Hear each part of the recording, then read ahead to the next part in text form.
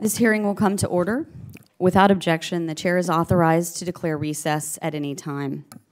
Good morning, everyone, and welcome to our panel of distinguished witnesses. Uh, I appreciate you being here, and I look forward to our discussion today. And before I uh, begin with uh, my, my opening statement, I, I do want to acknowledge uh, the panel and say thank you for your testimony. But uh, to express, just to be clear, that we didn't receive the, the testimony from NASA and, and from Mr. Stallmer until late yesterday evening, which in the future, I, I understand we all have a lot going on, but it really makes it easier for us to, or helpful for us to prepare for this if we're able to review the testimony further in advance. So I'll just make a request to, to all of you that hopefully we can expedite that more in, in the future so we're not cramming the night before. And as a a lifelong procrastinator, I understand, uh, but uh, if you all could help us out with that, it would be very, very much appreciated because we've got some very important issues to tackle here today. So, uh, to to begin, uh, beginning our hearing on a review of NASA's plans for the International Space Station and the future of activities in low Earth orbit. For nearly 20 years, the International Space Station has expanded our understanding of what it means to live and work in space. Our investment in the ISS have enabled scientific research, development, and technology. Technology demonstrations from DNA sequencing to advanced technology for water purification worldwide, and much more. More importantly, we haven't done this alone. The ISS is a shining example of international cooperation, as well as innovative relationships for transportation services and expanded partner use of the ISS National Laboratory. I want to acknowledge the NASA, uh, the NASA international and commercial partners who continue to ensure the safe and productive operation of the ISS.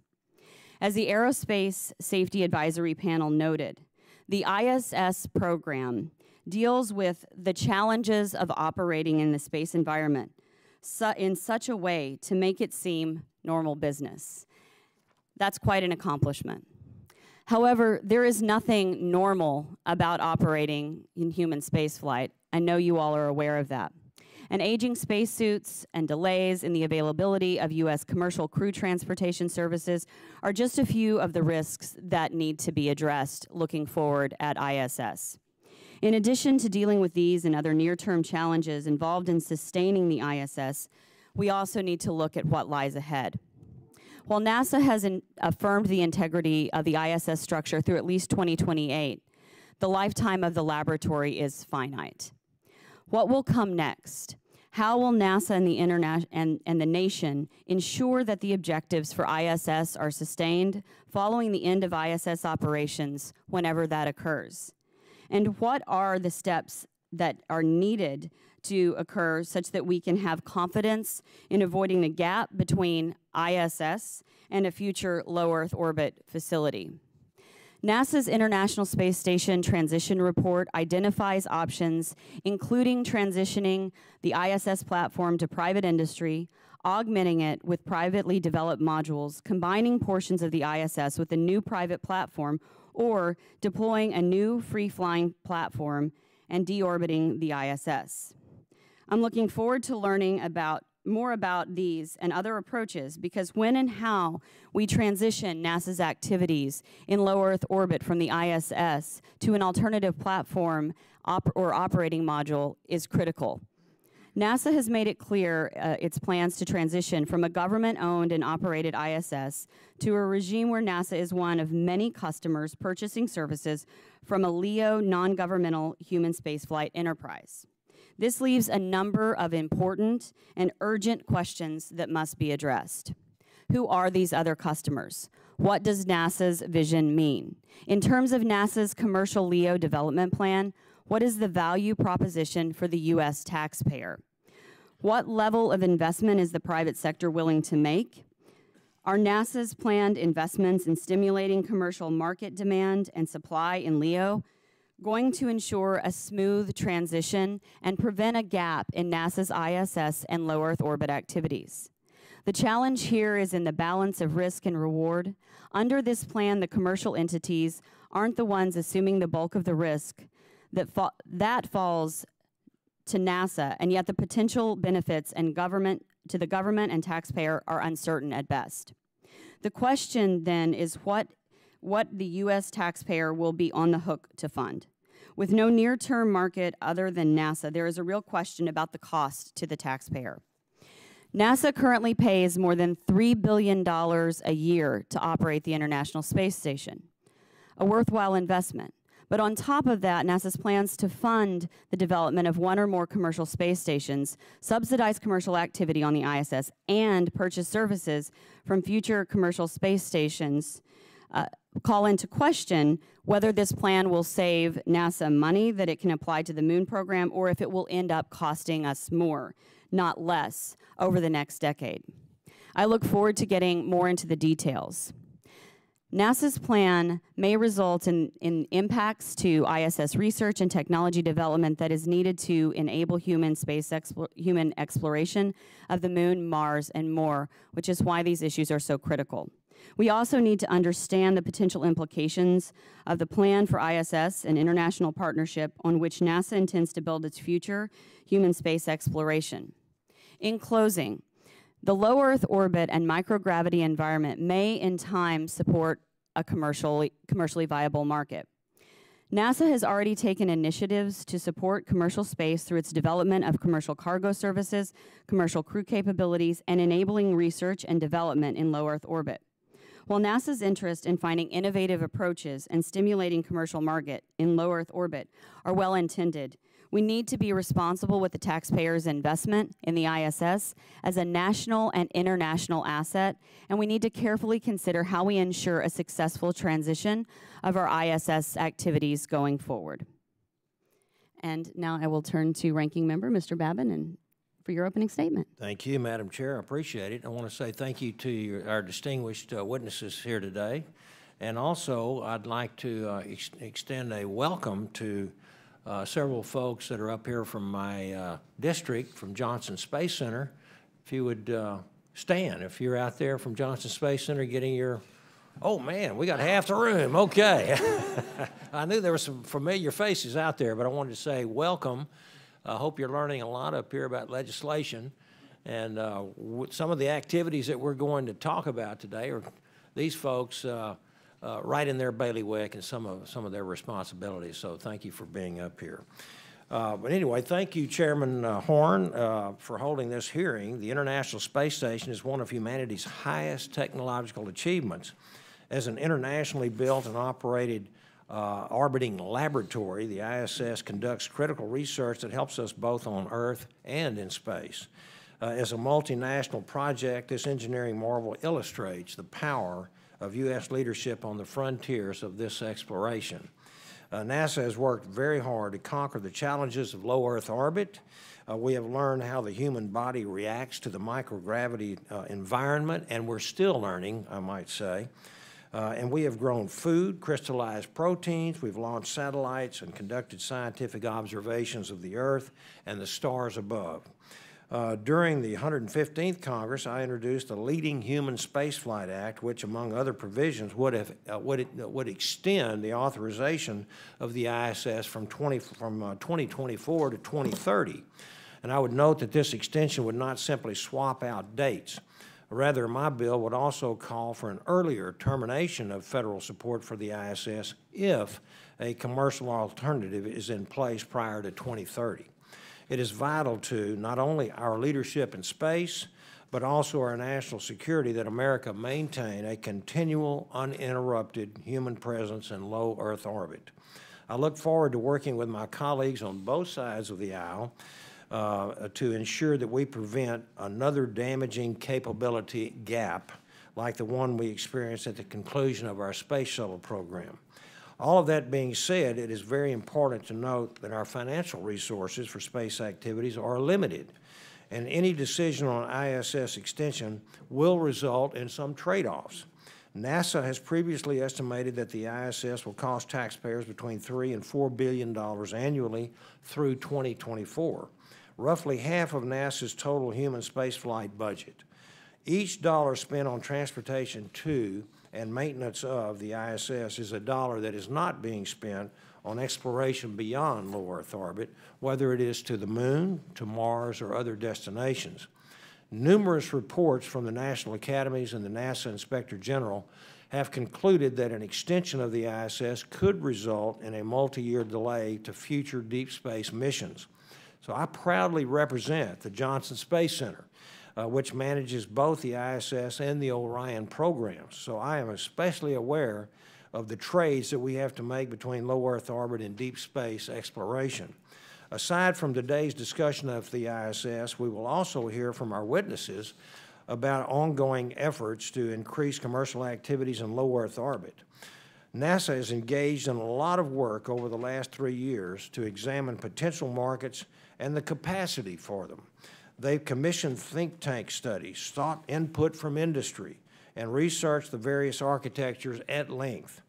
This work informed their recent announcement on ISS commercialization last month. Our witnesses today will share their thoughts on how, the, uh, how NASA can continue to work with industry to find opportunities to develop more commercial markets in low Earth orbit. Section 303 of the 2017 NASA, uh, NASA Transition Authorization Act directed NASA to, uh, to conduct a transition report for ISS where NASA would be one of many customers of a low Earth orbit commercial human spaceflight enterprise. A future where NASA is able to act as a customer and purchase a variety of services will allow the agency to focus on more ambitious deep space missions, and I look very much forward to hearing from our witnesses uh, how this committee can help take, uh, make this uh, step happen and uh, allowing NASA to serve as a customer rather than a developer of basic services is a very fiscally responsible move that will benefit the taxpayer and industry alike. I want to thank today's witnesses for being with us, and I look forward to your discussion. And with that, I yield back, Madam Chair. Thank you, Ranking Member. Uh, and the Chair now recognizes the Chairwoman of the full committee, Ms. Johnson, for her opening statement. Thank you very much, uh, Chairwoman Horn and Ranking Member Babin, for holding this hearing to consider NASA's plans for the International Space Station and future activities in low Earth orbit. As I have noted in the past, the International Space Station is the largest and most complex science and engineering project ever carried out in space. It plays a critical role in carrying out human health and technological research that is essential if we are to successfully send astronauts to Mars and back. The ISS also serves as a laboratory for the fundamental and applied science, as well as an observation platform for astronomical, environmental, and heliophysics research. It has been an enduring example of international cooperation in space, and it continues to inspire young people to excel and to provide opportunities for classrooms across our nation to interact with our astronauts through the live communication downlinks. Yet the ISS is a limited resource with a limited lifetime, and we need to make sure that we make the best use of it while we have it.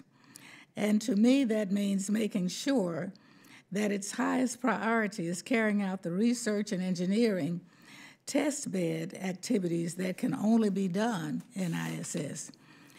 That is the lens through which I will be looking at NASA's proposals for ISS commercial activities. I support efforts to create a vibrant commercial space economy and low Earth orbit, but ultimately, it is the private sector that will determine whether or not that will happen. Private investment will be needed, not government sub subsidies. If LEO commercial commercialization is to be sustainable over the long term, I believe that the jury is still out as to whether that will happen. In the meantime, the International Space Station has a limited lifetime, limited crew size, and limited research capabilities. As I said earlier, we need to ensure that those resources are focused on those tasks that can only be done by ISS and that are high priority. As a result, it will be taking a, we will be taking a close look at NASA's proposed commercialization initiative to see whether it meets that standard. At this point, I'm not convinced that it does. For example, I'm skeptical that sending wealthy space tourists to ISS is the best or even a good use of taxpayers funded facility. NASA keeps saying that there are unanswered human health research questions that can only be addressed on the ISS. Questions that need to be answered if we are to reduce the risk of sending humans to Mars. If that is the case, our focus should be on sending additional crew members or researchers to the station, not well heeled individuals seeking exotic vacation. We have much to discuss today, and I look forward to hearing from our witnesses. I welcome our witnesses. Thank you, and I yield back. Thank you, Madam Chairwoman. And if there are members who wish to submit additional opening statements, your statements will be added to the record at this point.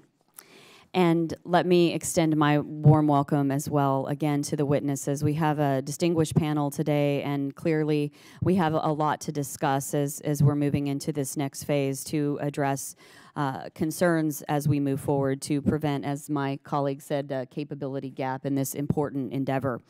Uh, I'll begin by introducing our witnesses today. Our first witness, uh, Mr. William Gerstenmaier, uh, is no stranger to uh, appearing before this uh, committee, and we're, we're, glad to have you here today. Associate, Associate Administrator for the Human Exploration and Operations Mission Directorate at NASA. Prior to his current position, Mr. Gerstenmaier served as the manager for the International Space Station Program, he also served as the Associate Administrator for the Space Operations Mission Directorate during the completion of the space station. Mr. Gerstenmaier holds a Bachelor of Science in Aeronautical Engineering from Purdue University and a Master of Science degree in Mechanical Engineering from the University of Toledo. He is becoming a regular when it comes to testifying before us and clearly has uh, has expertise related to ISS, and we are glad to see you again, and we appreciate you being here as we consider these important issues. So welcome, Mr. Gerstenmaier. Our next witness, uh, Mr. Paul Martin, Inspector General for the National Aeronautics and Space Administration. Mr. Martin has been uh, NASA Inspector General since Senate confirmation in 2009. Prior to his appointment at NASA, he served as the Deputy Inspector General in the Department of Justice. He also spent 13 years at the U.S. Sentencing Commission, including six years as the Commission's Deputy Staff Director. Mr. Martin received a BA in journalism from Pennsylvania State University and a Juris Doctorate from Georgetown University Law Center. We look forward to your testimony today, Mr. Martin, and we're glad that you're here. So, welcome. Our next witness is Mr. Eric Stallmer. Um, Mr. Stallmer uh, is the president of the Commercial Spaceflight Federation, CSF, and has much experience in the commercial space sector.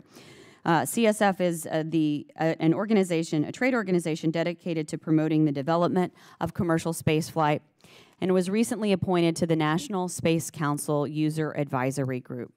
Before working at the Commercial Spaceflight Federation, Mr. Stallmer served as the Vice President of Government Relations for Analytical Graphics Incorporated. Mr. Stallmer has a bachelor's degree in political science and history from Mount St. Mary College and a master's in public administration from George Mason University.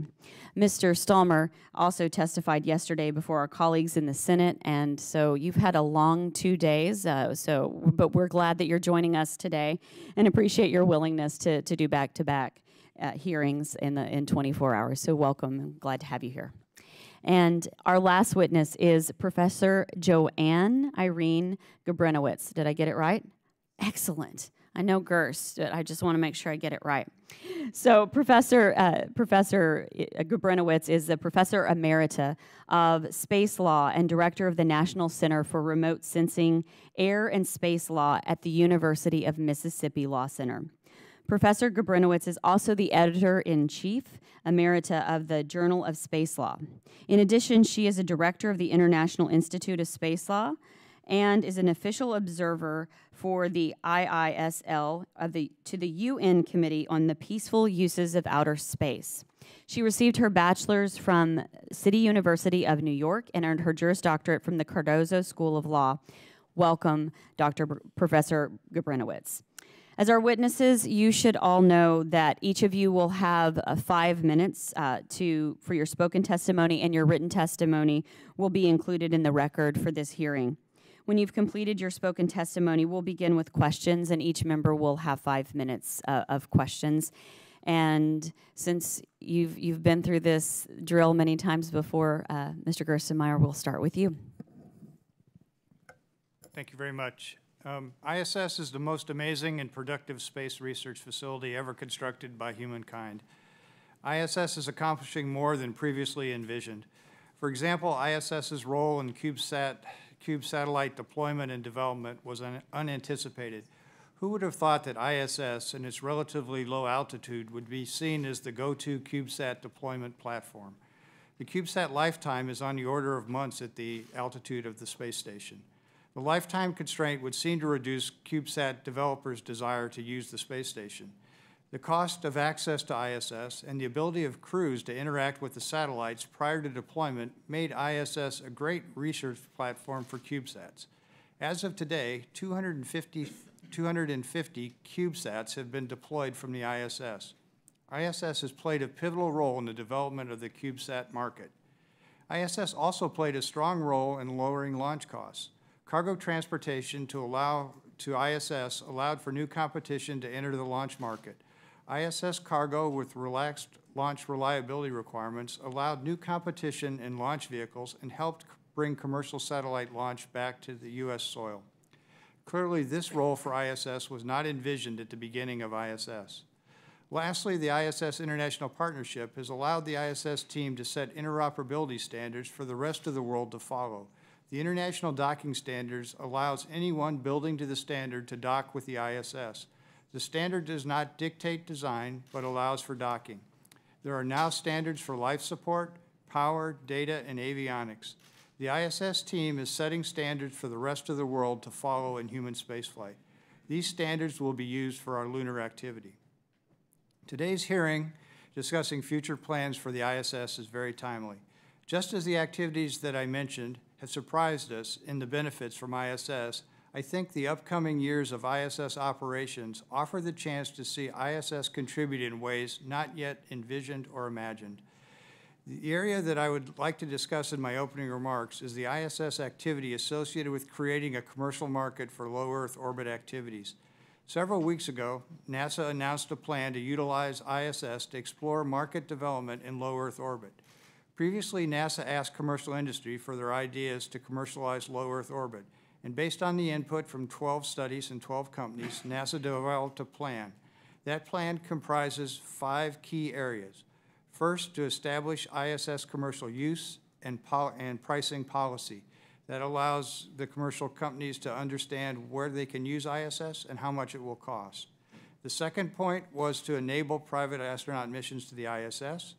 The third point was to initiate a process of commercial development of low Earth orbit destination. This means allowing the docking port to be used on ISS for commercial activities and also investing, investigating new free-flying platforms. Fourth, we were seeking out and pursuing opportunities to stimulate demand. And fifth, we've been quantifying NASA's long-term needs for activities in low Earth orbit. With this data, commercial companies should be able to build a business plan and determine ways to generate revenue from low Earth orbit. NASA can enable U.S. industry to see the benefits and opportunities in low Earth orbit spaceflight. However, the results will only come from the private sector investing and taking risks. All companies investing in low Earth orbit will not be successful. It is critical that NASA create the right environment for these potential low Earth orbit entrepreneurs. The ultimate goal is for NASA to become one of many customers for activities in low Earth orbit. Being one of many customers will lower costs for NASA and allow us to more effectively use the dollars that we have been provided. I stress that the burden of creating this new market will be on the private sector and not on NASA. Again, thank you for the opportunity to uh, be here today, and I look forward to your questions. Thank you, Mr. Gerstenmaier. Um, Mr. Martin. Chairwoman Horn, Ranking Member Babin, and members of the subcommittee. Over the past five years, the Office of Inspector General has issued 13 reports related to the International Space Station, including reviews of NASA's efforts to maximize onboard research, manage the $17 billion in contracts with private companies to fly cargo and crew, and maintain international partnerships that fund almost one quarter of the station's annual expenses. My testimony today is informed by these past reviews, in particular, an audit we issued last July that assessed NASA's utilization of the ISS. For the past 21 years, the ISS has served as a unique platform for humans to experience living in space while conducting research in a microgravity environment. But while a unique platform, it's also an expensive platform that costs NASA between three to four billion dollars annually, or about half its human spaceflight budget. In my remarks this morning, I offer three observations based on our oversight work. Observation one, NASA's current plans for a more incremental approach to ISS commercialization appear more realistic than its previous approach that set a hard deadline of October 2025 to end direct federal funding for the station. That said, we continue to question whether a sufficient business case exists under which private companies can create a self-sustaining and profit-making business using the ISS independent of significant government funding in the short or midterm. From our perspective, it is unlikely that a private entity would assume the station's operating cost, currently $1.2 billion annually, to enable NASA to achieve its stated goal of, quote, becoming one of many customers of a commercial LEO platform. Observation two, Structurally, it appears the service life of the ISS could safely be extended to at least 2028, if not beyond.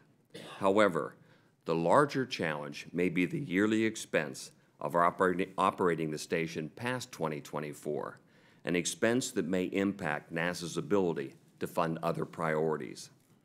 Unless the agency receives a substantial and sustained appropriations increase, it will be hard-pressed to continue supporting ISS operations under its current model while also funding initiatives such as the Gateway, lunar landers, new spacesuits, and other technologies required for a moon landing.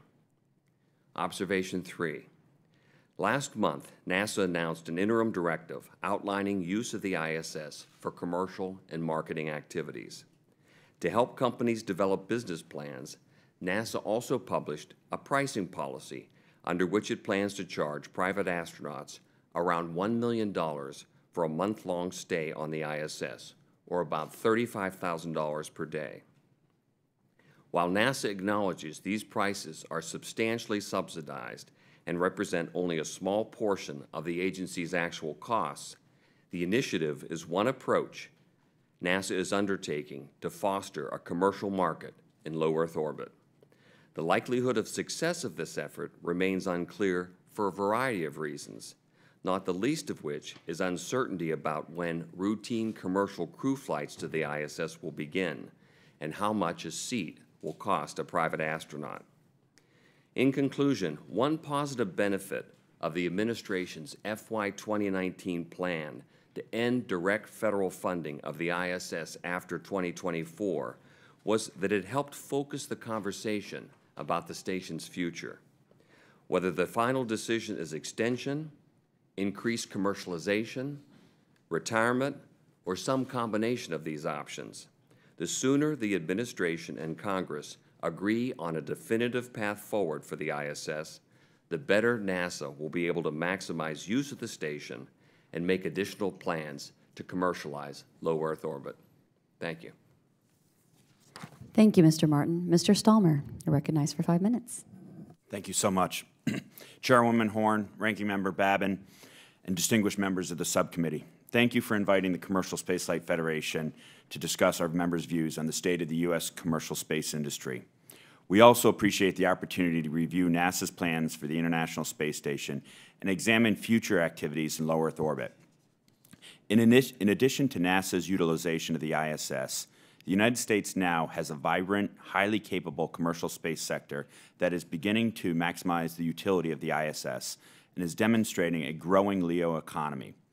As we look to the future, in which the government is one of many customers, It needs to be reduced, it needs to reduce the burdens on the system and moves at the speed of, at the speed of business. Because of NASA's foresight and cultivation of this industry, American companies support space exploration and national security needs today, in addition to the commercial marketplace.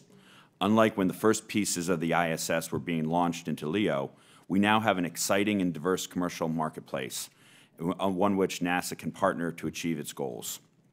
20 years after Americans launched the first module of ISS, the current administration, NASA, and Congress have established a national commitment to ensure American leadership in low Earth orbit, to establish a permanent human presence in low Earth orbit, and enable the development of a commercial and industrial ecosystem.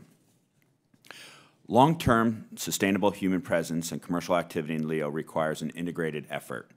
This includes stimulating greater demand for space-based industrial R&D and spaceflight products and services to LEO, the development of commercial space stations and space habitats, and routine transportation of astronauts and cargo to and from LEO. Public-private partnerships with commercial companies are fundamental to developing these capabilities. As you look to ensure America's leadership in space, you must ensure we this includes rapid innovation. Last month, NASA released guidance for its LEO, econo- LEO Economy Initiative. CSF commends Administrator Bridenstine and the entire NASA team for recognizing the success of the commercial industry, incorporating best practices, and updating objectives to accelerate the development of these important capabilities. As NASA works to implement this initiative, we recommend the following uh, few ideas. Encourage NASA to adopt the best elements of its successful efforts to commercialize space, such as the Commercial Orbital Transportation Services, COTS program, and the Commercial Crew program. Maintain co- uh, competition throughout the life of a program to encourage innovation and cost reduction. Multiple providers offer redundant capabilities in the, in the event of delays or challenges support of a complete utilization of the ISS through at least 2028, and a timely, seamless transition process towards commercial space stations to ensure that the U.S. maintains a continuous human presence in low Earth orbit. Provide certainty and predictability by communicating a clear plan for the transition to commercial systems. That means that if NASA is going to charge for ISS-related services, those prices should change infrequently and with, the with substantive advance notice and resist the temptation to try to make money now at the expense of future LEO market expansion. This would be the very definition of killing the goose that lays the golden eggs. Regularly engage with industry, which NASA does a great job with, to understand and incorporate new commercial capabilities as they evolve, as opposed to requesting the business, uh, requesting that business fit within NASA's plans. Grant users complete control over intellectual property and developed on ISS and avoid competing with private industry. We are ready to take the next step with NASA, and we look forward to continuing to work with this committee to establish a permanent human presence in low Earth orbit and enable the development of a strong commercial ecosystem. Chairwoman Horn, Ranking Member Babin, I really, and members of the committee, I really appreciate the invitation to testify before you today, and I thank you for your attention. I look forward to all your questions. Thank you very much, Mr. Stallmer. Uh, Professor Gabrynowicz.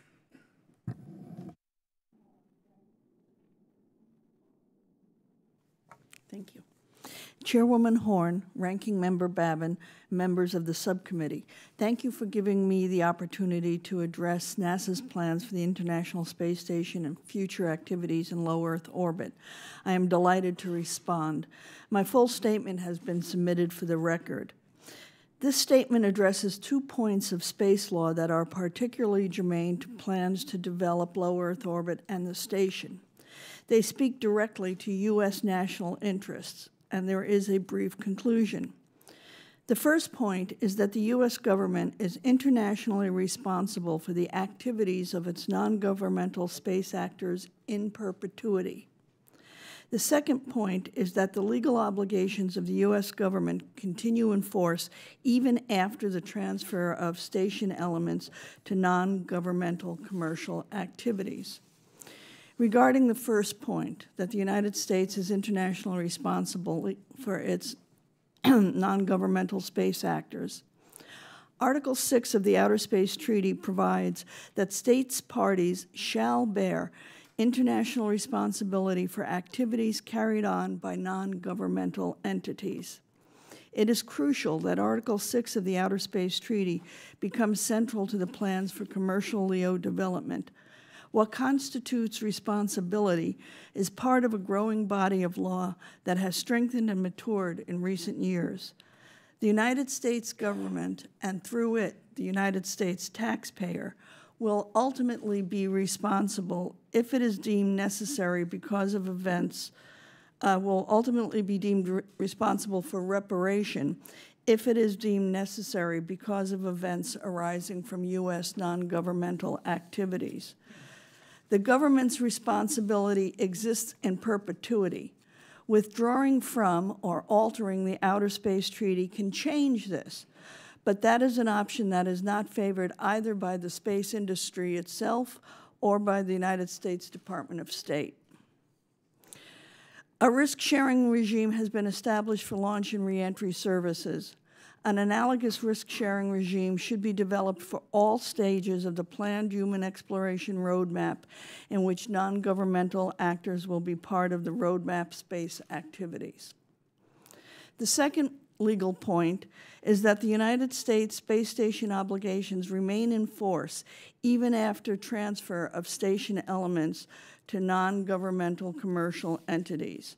The IGA, the Space Station Agreement, is a remarkable space law achievement. It has governed space station cooperation for 15 states over three decades, and it is described in more depth in my statement.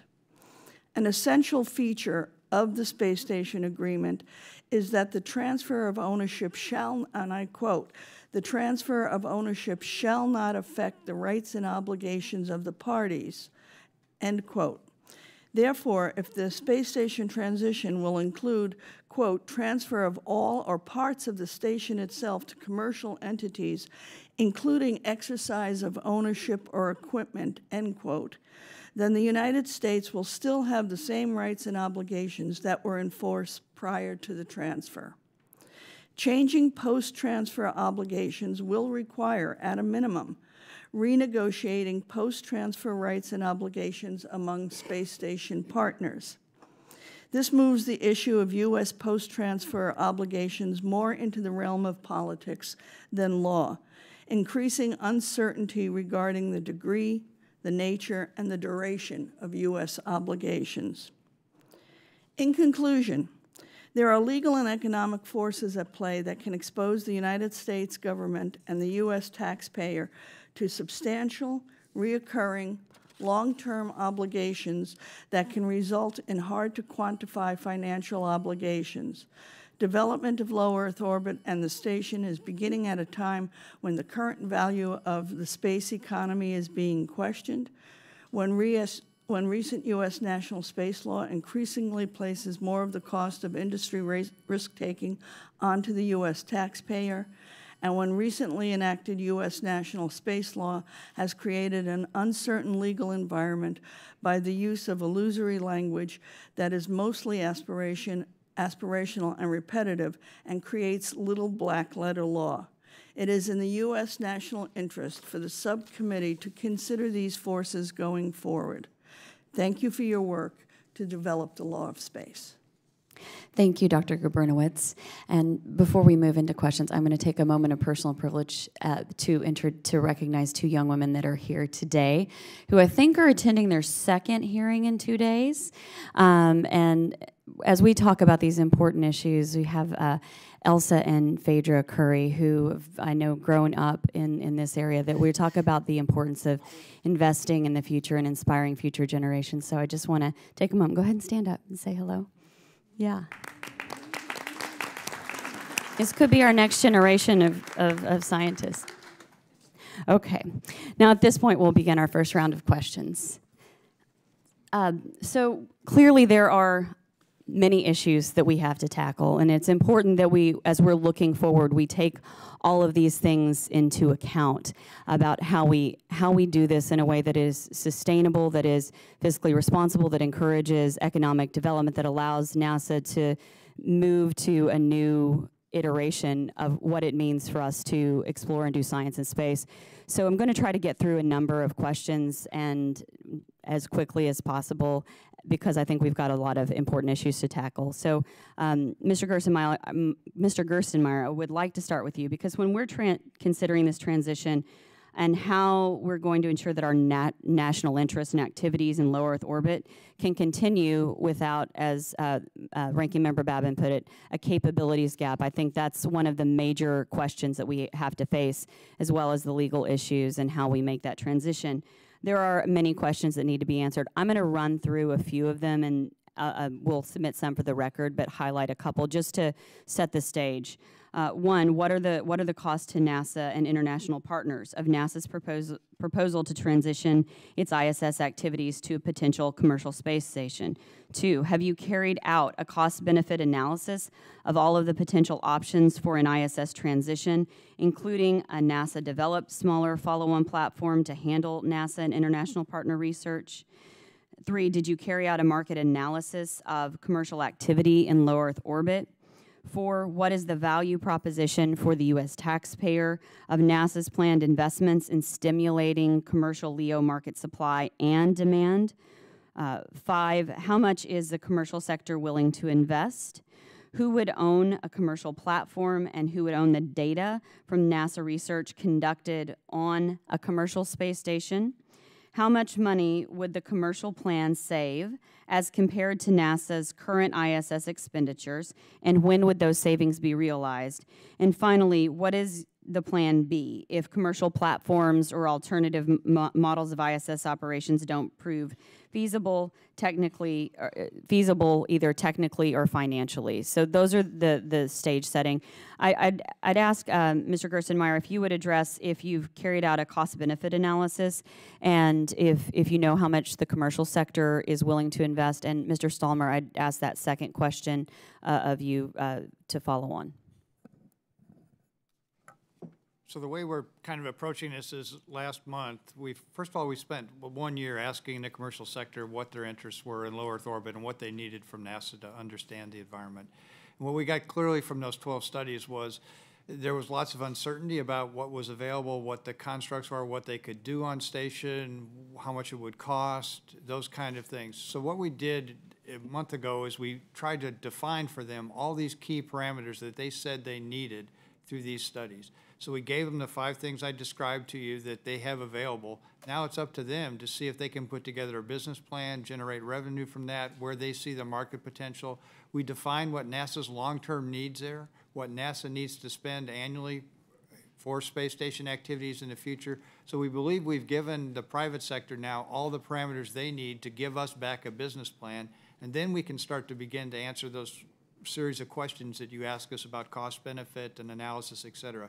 So we've done our part. We've identified what's available, what we need, how much it'll cost to find the constraints. It's now up to the private sector to give us back business plans that we can then start evaluating to turn that back around into the, the cost benefit analysis type of activities you described. Thank you. Mr. Stallmer?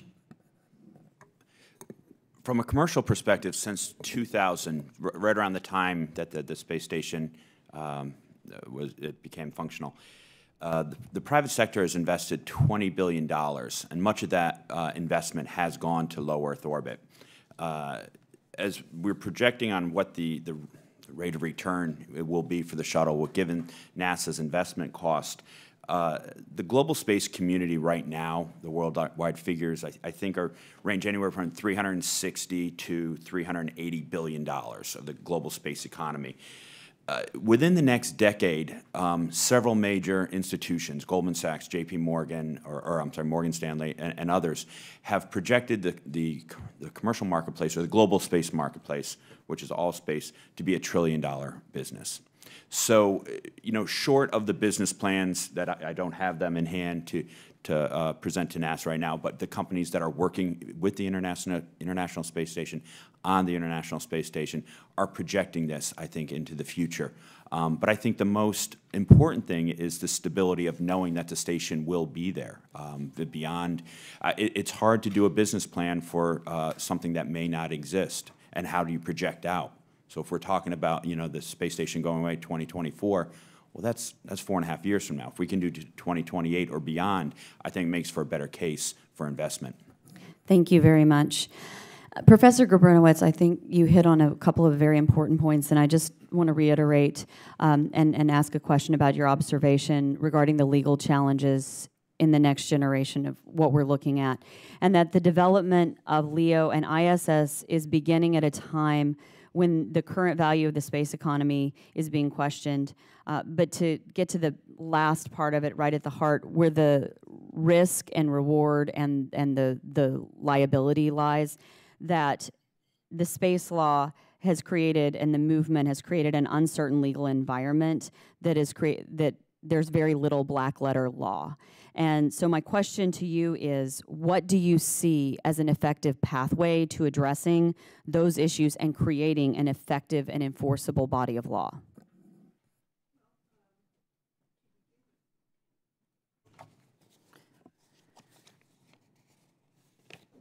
Excuse me, just a moment.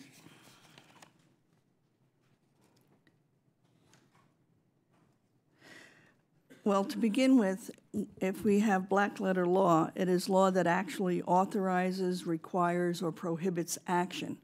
What we have had since about 2014, 2015 are a number of statutes that rely on reaffirmations, uh, the sense of Congress provisions. Uh, none of these create law. There's a pattern in these statutes where um, there's a congressional finding or the sense of Congress is, and then uh, the requirement is to produce a study and to bring it back to the relevant committee. And so there's a lot of activity going back and forth, excuse me, uh, regarding studies that are intended for future action. But most of these statutes don't actually authorize prohibit or, or source action. And uh, if one were to go over these statutes, uh, you'd see large chunks of uh, numbered pages that are simply opinions and not law. Even a sense of Congress provision, even if it's in, incorporated into a bill, it does not create law. And um, I don't remember the numbers now, but I've gone through the, these statutes and uh, statutes, and a number of them have 15, 20 sense of Congress provisions in one bill. Thank you very much. I have many more questions, but we're going to pass the time, so turn it over to Ranking Member Babin for his. NASA just released details highlighting its plans for the low Earth orbit commercialization. The intent of the plan is to facilitate private sector use of low Earth orbit to offset the government's costs in LEO so that NASA can focus on deep space exploration. And the focus of the plan appears to be focused on selling access to the ISS. And uh, Mr. Gerstenmaier, will this offset NASA's costs uh, for ISS transportation and operations? And if so, by how much? And if not, then why decrease uh, NASA's utilization? Yeah, so the intent is not to lower NASA's costs for this activity. The idea is to essentially allow the commercial sector to experiment with revenue-generating activities on board station. And for that, we want to recoup some of the costs associated with the activities of which they're using on station, and that was the pricing policy that we placed for them. It's not an absolute pricing policy, but it gives them an idea of how to build a plan. And the idea is then, can they then look at, from that, determine whether a private station on their own that they built could be used, and then that's something NASA could then acquire services from in the future. Okay. So the purpose of that was to allow them to essentially experiment with revenue-generating options and concepts moving forward. And we didn't take things away. We were, we made available to them five percent of the available time on ISS, and that five percent we can we can remove from our other activities and move forward. So we still protect our basic research, we still protect the fundamental research needed for exploration and human health and other aspects. Okay, will, will revenue derived from the ISS commercialization plan go back to the Treasury, or will it stay with NASA? And what oversight will Congress and the taxpayer have on funds derived from the taxpayer's significant investment in the ISS? A- Again, our focus really isn't on capturing revenue. The- The Okay. intent is to allow them to experiment, and then, then later in the future, where they now have their space station to serve other purposes other than the government's purpose, then we're one user of many, then we're buying from a larger service, and that lowers our cost for future activities. But the intent is not to generate revenue. I from understand. ISS. And, uh, Mr. Martin, uh, recent reports from your office have highlighted the need to develop new spacesuits, both for future use in the microgravity environment of LEO for extravehicular operations uh, and for future deep space missions and surface operations.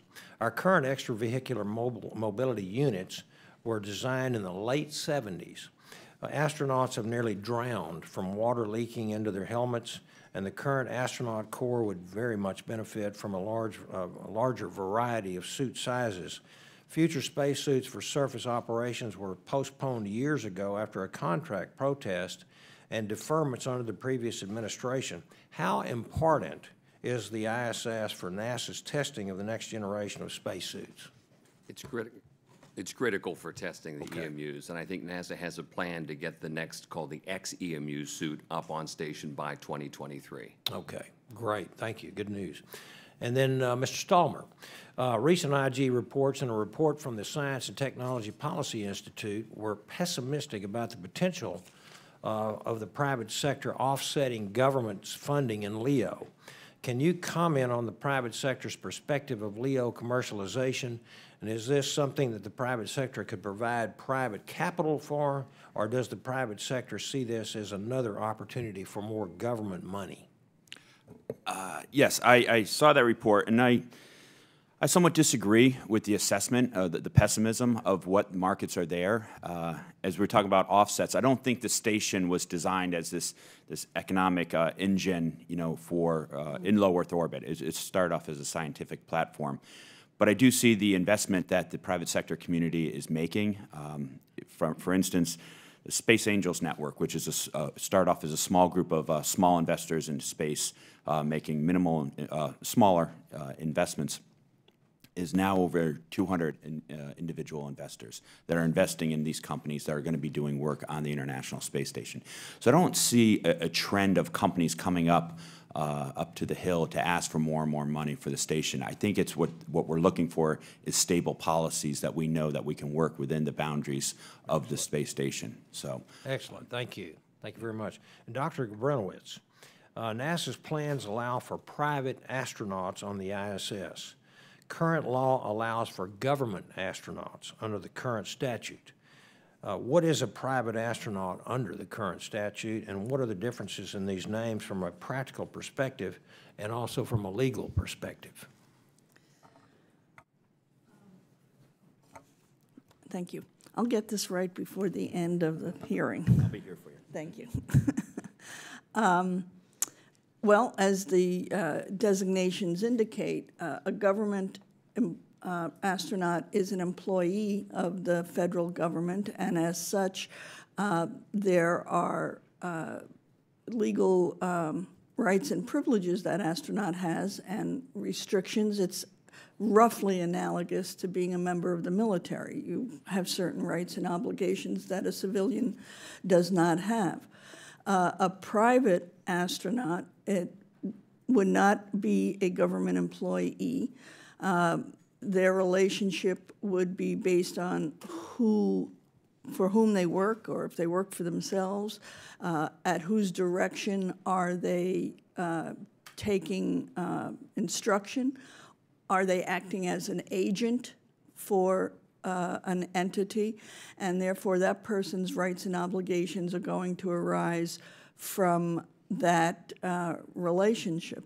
But then there's the additional overlay that if you have a private sector astronaut who is a non-governmental actor, then uh, ultimately the United States is responsible for that uh, astronaut anyway. There's that additional overlay.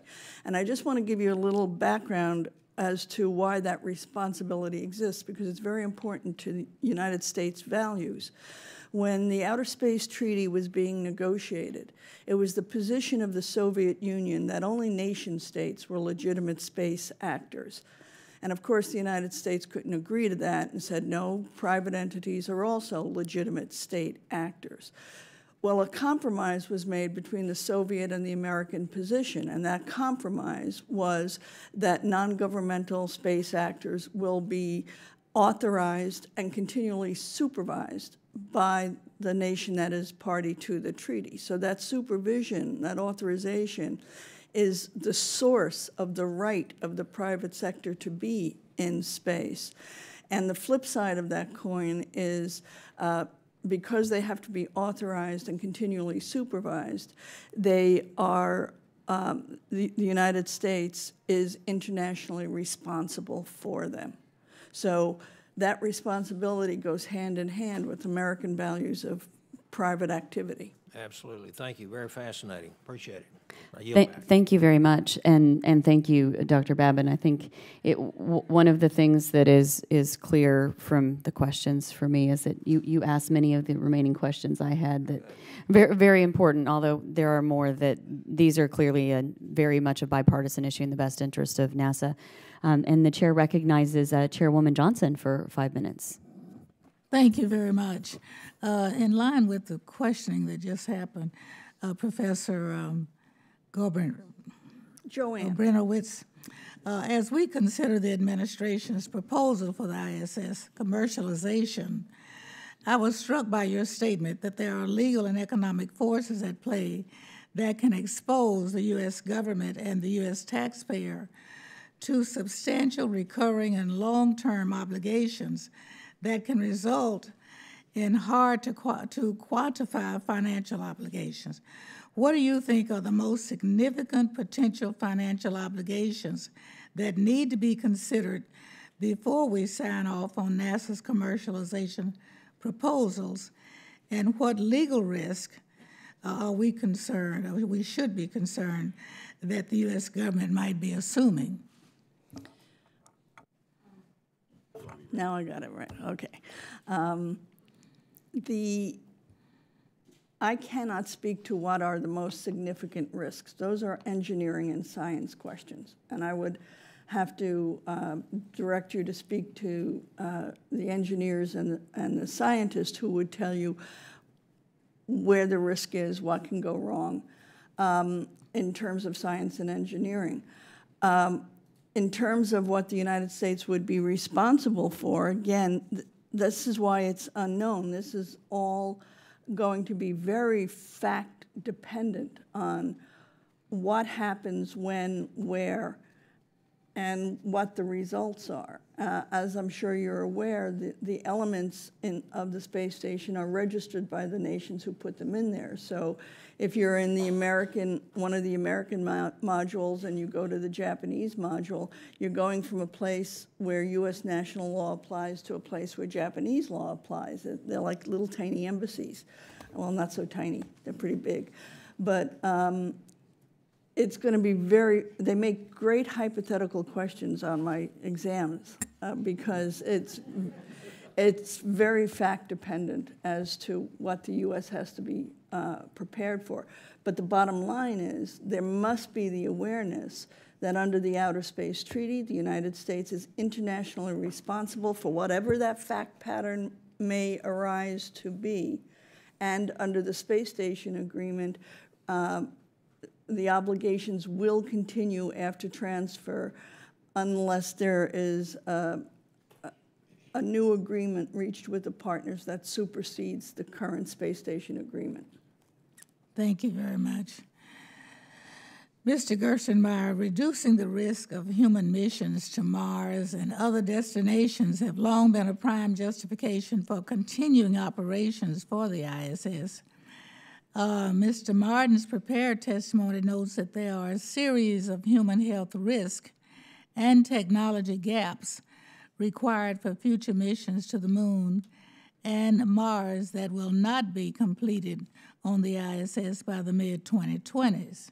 At the same time, NASA's low Earth orbit commercial development plans propose providing commercial entities access to NASA's available crew time, power, and other resources that otherwise could be used to make progress on the human health and technology research. Given the limited life of the ISS, how do you justify using NASA's constrained ISS resources to try to stimulate commercial activities such as space tourism and marketing rather than using these resources to reduce the risk of human missions to Mars? We are very focused on reducing the risk associated with Mars, both technically and also from a human uh, physiology standpoint. That is our primary focus. We're spending a lot of research time on both of those activities. But what we've done is we've created this 5% piece beyond that of which we can allow this experimentation and commercialization. We think that's important because then at some point this station will wear out We've identified a long-term need for us to do this technology development and research in the future. We're going to need some other facility to do that. What we'd like to do is not be in the posture where NASA and the U.S. government has to build that facility. We would like to be able to use a private facility. So we think this small portion of the time being available to prepare for that future allows us to ensure that we can keep a research facility in low Earth orbit to investigate the technology and the human factors we need to get ready to go to Mars. Thank you very much. My time has expired. Thank you, Madam Chairwoman. The chair now recognizes uh, full committee ranking member Lucas for five minutes of questions. Thank you, Madam Chair. Uh, Mr. Gerstenmaier, let's step back and look at a kind of a more of a broader perspective. NASA recently released summaries of the private sector's low Earth orbit commercialization plans. Did NASA learn anything from these studies that it did not expect? Were you surprised by anything? Yes, I, I think the, the takeaway that we saw from the plans were the, the diversity and the options of, of what the companies thought for revenue generation, what they thought the cost would be associated. There were a, a lot of differing opinions from their perspective of what they saw the benefits of space research were. So I think the diversity of the responses we got surprised us. We thought they would be more aligned in one specific area. So that's why we pursued this five-point plan I discussed. So I assume that was a pleasant surprise then. It's interesting because, but it's hard for us now to pick then a concrete path to go forward from, from those studies. Along that line, uh, Mr. Gerstenmaier, in 2015 we saw reports that the Russians intended to detach their modules in 2024 to form their own habitat in low Earth orbit. If, in the event this were to happen, how should the U.S. engage its international partners? And along with that, uh, would a Russian departure from the ISS require further U.S. investment in ISS to keep it running without a Russian segment? I think that's a interesting hypothetical discussion. There's lots of dependencies between the Russian segment and the U.S. segment. Uh, we provide power to them. We provide approximately 1,000 commands today go through USS, U.S. assets, and those are Russian commands going to their side. So I think in reality, we're going to have to stay together as an international partnership, whether we really want to or not, and we can talk about things hypothetically, but in reality, we're part of the international partnership that needs to work together and will continue to work together in the future. So we're hooked at the hip then. That makes sense. Mr. Stallmer, does maintaining a presence in low Earth orbit necessarily mean the presence must be a NASA presence, or could American companies maintain that presence? And along that line, does maintaining any sort of crew presence in low Earth orbit necessarily mean maintaining a presence on, on the ISS in particular? Sir, I, I think it's both. I, I think that NASA should um, re retain a, a permanent presence uh, in low Earth orbit, but I think there's also a commercial element as we're seeing uh, private sector habitats being developed and private, potentially private space stations being developed. I think you can have it both ways. I think the co uh, commercial sector will um, provide services, and I think NASA eventually will be a customer of those services. So I think it's a, it's a good balance that we uh, have to look forward to. Thank you. And Madam Chair, using my time, pre precious time precisely, I now yield back the balance. Thank you, Mr. Ranking Member. The chair now recognizes Mr. Crist for five minutes. Thank you, Madam Chair, uh, and thank you, panelists, for being with us today. Uh, I think we can all agree that performing research in microgravity is critical to achieving scientific and technological advances which is why I support an extension of space station operations beyond 2024 However, uh, there will eventually come a time when the station is no longer usable simply because it has reached its operational lifespan. Uh, Mr. Gertesmeyer, and I apologize if I mispronounced it. Uh, when this occurs, what do you envision for the future of microgravity research? Specifically, do you see the need for some sort of national space-based lab to support research and development beyond the useful life of the space station? Yeah, in the, in the plans we provided to commercial industry, we identify what we believe is NASA's long-term needs for space research, and included in that is a continua- continuation of doing research for NASA's needs, both technology development and also microgravity research. Thank you. Uh, Again, uh, to you, if you don't mind, I assume that increased commercialization of low Earth orbit will result in additional traffic to and from the station. Um, Can you discuss NASA's plan for space traffic management under a commercialized low Earth orbit situation? Yeah, even today, we have a visiting vehicle specification that uh, essentially defines the operating environment around space station. So we have certain zones where vehicles can transit and come into, but they need authority to come into those. So there's a very methodical approach of how we do vehicle traffic management in a way almost similar to an airport here terrestrially, but, but it's around space station. And when I propose we would use that same kind of thing in the future for another space station or this space station as it moves forward. But it's becoming a very busy environment for us, and uh, the monitoring and activities of the folks at the Johnson Space Center are critical for those activities. Thank you, sir. Uh, Mr. Stallmer, as you know, NASA announced last month that it will allow two flights to the space station each year for private astronauts. Uh, do you believe it's feasible to begin these flights with an all-commercial astronaut crew, or would it be better to start with missions that include both NASA and private astronauts to help uh, build and establish this market? I think it'd be the latter. I think uh, using NASA, NASA astronauts as well as commercial astronauts is a, is a prudent approach.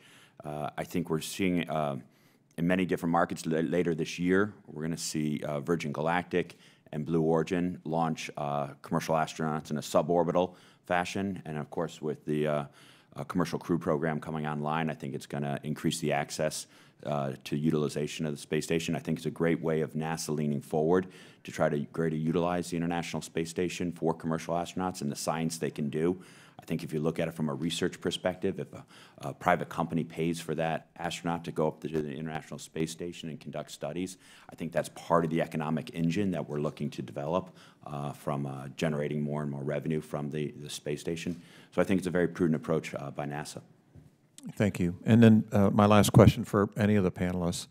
Uh, what, in your opinion, uh, can NASA do to help encourage a commercial astronaut transportation market?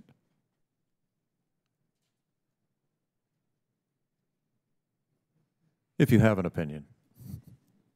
For NASA to encourage the, the greater utilization of commercial astronauts? Yes, sir. I, I think it's to highlight the opportunities for the science that is up there. I think when we see some of the breakthrough technologies, and NASA's done a, a great job of, of showcasing the breakthrough technologies that have been developed on the International Space Station.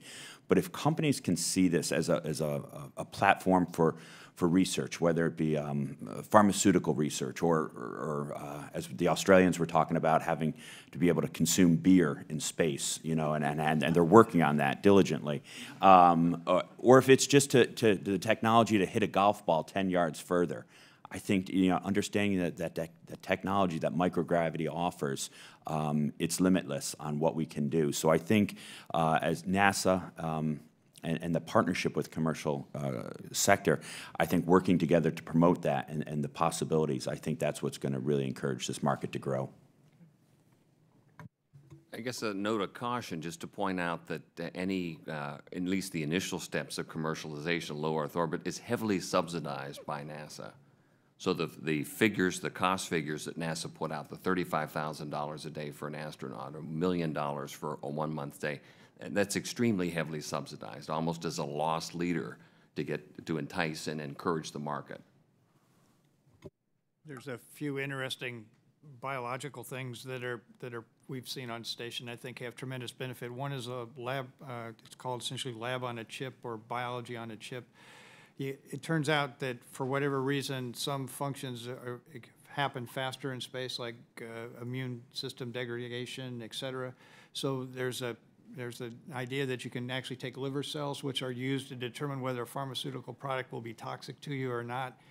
And in the microgravity environment, because those processes are speeded up, it would typically take a year to get results on the Earth can occur in several months on station. So we think there's a huge benefit potentially for pharmaceutical companies to bring drugs to market faster by doing this lab on a chip kind of technology on station. We're also looking at 3D printing of organs in, in space.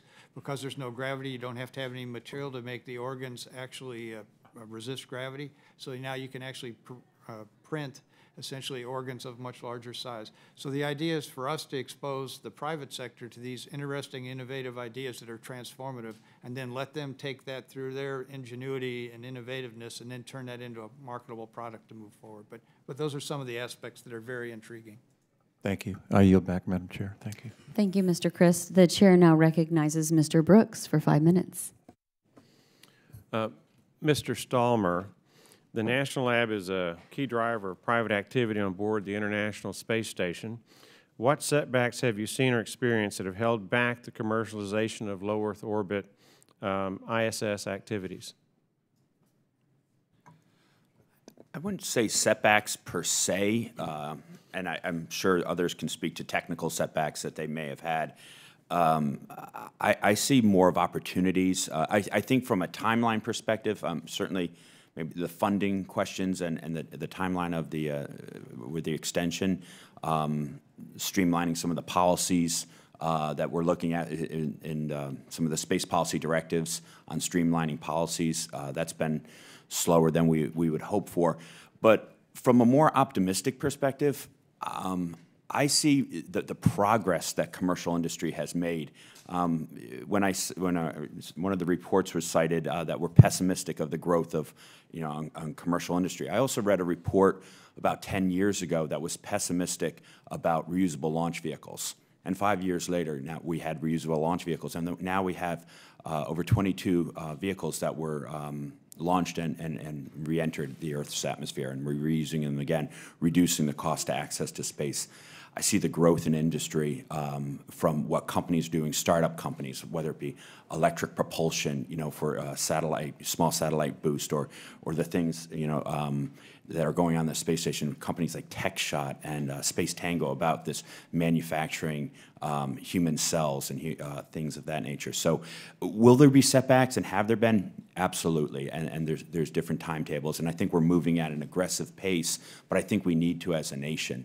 I think we, for 50 years, as we celebrate uh, Apollo, you know, next week, and the, the, what we've done over the past 50 years, what we did 50 years ago, I, I, think it's a little disappointing what we've done in the last 50 years. Not the space station is a remarkable uh, modern marvel, and, and, I'm not knocking that at all. But I think as a nation we can do better. I think we can do a lot better, and I think, uh, and I know the commercial sector will be helping do that. This is a question for any who wish to opine on it. In your judgment, either in percentage terms or dollar terms, how much of a taxpayer subsidy is there for commercialization at the International Space Station?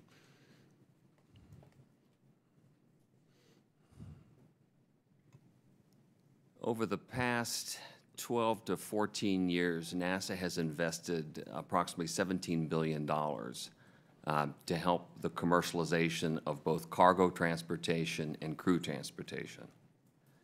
That does not mean that the companies involved in both of those enterprises also don't have skin in the game. They have significant resources, but $17 billion investment in that. As we've all indicated, it costs upwards of three to four billion dollars per year to maintain and operate the station. So as you can see, significant subsidies. My hometown is Huntsville, Alabama. We like to call ourselves the birthplace of the American space program. And as such, I've heard projections, uh, rather optimistic uh, on occasion, uh, that we're just around the corner uh, from having commercialization of space that um, does not involve much in the way of taxpayer subsidies, either by our country or others, as the case may be with a joint facility like the International Space Station what needs to be done to truly make commercialization a solely private venture? Is there anything Congress can do where we can eliminate these taxpayer subsidies of these private efforts? I- think when you, you categorize it as subsidies, I, I'd like to look at more the advancements that the government assistance has created. And as we see, you know, for instance, on the, the, um, the commercial cargo program, with the government, you know, the, the, the investment that the government has made on that program, coupled with the investment of these private companies, we now have two uh, fully capable launch vehicles that are providing uh, routine access and routine, you know, resupply to the International Space Station. So to put a price tag on that investment, well, now we have, you know, the, um, these, these two vibrant, vibrant um, companies that are providing services, as well as uh, um, that we're going to see cargo with, with Boeing and SpaceX later, uh, I'm sorry, crew with Boeing and SpaceX later this year. Uh, the U.S. dominates the, the global commercial marketplace now. Uh, you could not say that 10 years ago, where we had less than, uh, less than 10% of the global market. So now the U.S. industry on launch, on small sat, on spacecraft, we are the, the dominant leader. So whatever that number of, of investment that the government has made, I think it is, is paid you know, tremendous dividends to the American public. And I think it'll continue to pay that with the investment that we have in the International Space Station. Thank you, Madam Chair. I yield back. Thank you, Mr. Brooks. The chair now recognizes Congresswoman Hill for five minutes. Thank you so much, Madam Chair.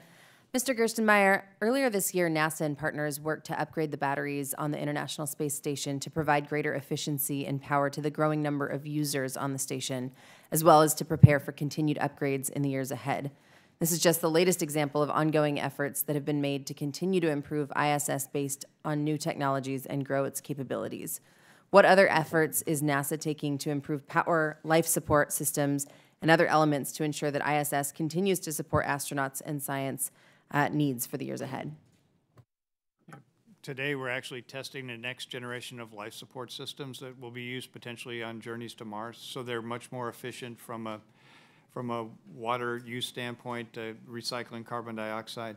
We've also just recently increased the bandwidth coming down from space station to 600 megabits per second. Um, that is that is now the standard every day, and we've increased the number of video channels coming down, so we can do more interactive and uh, virtual reality activities with space station. So, so those are some of the examples of the improvements, and we have more battery upgrades coming this fall. Great, thank you. Um, also, Mr. Gerstenmaier, as you know, the Senate has voted repeated, repeatedly to extend the ISS through at least 2030, and the majority of the House voted for a similar provision last year. As this issue comes up again in the new Congress, how important is certainty uh, of ISS extension to you, our international partners, and other users as they plan for crewed missions and experiments in the years ahead? You know, we just had a discussion on um, how how we could uh, help commercial industry transfer or take over more of the role in low Earth orbit. I think that's very difficult to predict exactly when that's going to occur. I think that time frame is going to be hard. It's going to take longer to create a new economy than, than I think we've envisioned. So I think we need to be careful we don't set an arbitrary or artificial deadline. We need to essentially provide some certainty so industry and the commercial sector can understand what's coming in the future. They can plan for that, and then they can move forward. So I think getting a plan of how that moves forward and when that occurs, then we have a chance of, of, of visioning this world where the commercial sector is taking a larger portion of the cost associated with low Earth orbit. And right now, we, we don't have that we don't have that certainty or that plan of transition. No, we have varying numbers depending on where we talk between what Congress says, the administration says, what NASA's plans are, et cetera. I think some certainty about that. But again, not setting an arbitrary deadline, but maybe more setting criteria such that we don't create this gap that was talked about earlier. The Right. gap would be unacceptable, but we need, uh, we need some plan to do that. Right. And um, Mr. Martin and Mr. Gerstenmaier, I understand that NASA and partners have already worked to certify the ISS for use through at least 2028, and these studies indicated that its lifespan could extend well into the 2030s. Can you talk about that status, the status of these studies, and what other steps NASA is taking to ensure that ISS can be extended and healthy for many years? We, we've done uh, the structural studies through 2028. We've done other studies. These improvements I talked to you about earlier, those are all part of essentially allowing us to do more with station. These life support systems we're checking for the future, that actually allows us to have more crew on board station. The, the thing that we've got weigh again is you know, we are spending money in low Earth orbit that we could be spending in, in deep space. So we need to make sure that we have that right balance between those two moving forward. And I guess I would emphasize that, these are opportunity costs. If you continue station for any number of years past 2024, that is approximately three to four billion dollars you don't have available to pursue other exploration goals, such as lander development, such as Gateway, such as preparing and bending metal for moving to Mars. So it is, it's, it's a choice.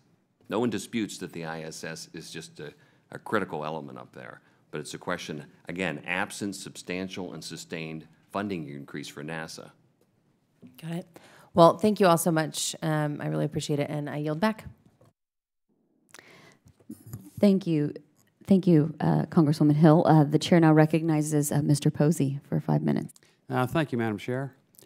Uh, Mr. Gerstenmaier, what are the main cost drivers uh, for the three to four billion dollar operational cost of the ISS? The major cost driver is uh, crew and cargo transportation to and from ISS, and that's about the $1.8 billion of the, the 3 billion. that- that Okay. Um, what factors affect the shelf life of the ISS? Again, I think we've been doing a pretty remarkable job of maintaining station and upgrading systems and components through use of our crews and astronauts and, and engineering expertise. There are some components structurally that may wear out over time, and we need to watch those and monitor those, but we're actively tracking those and, and looking at those on a What kind, what, what kind of components would they be? They'd be some of those truss elements, some of the large structural pieces. Solar arrays uh, will need to be replaced at some point and augmented, and we have plans to do that. Okay. Uh, Could uh, the ISS be mothballed? Space station is, is designed to be crew-operated, and so a lot of the systems really require a crew presence on board station.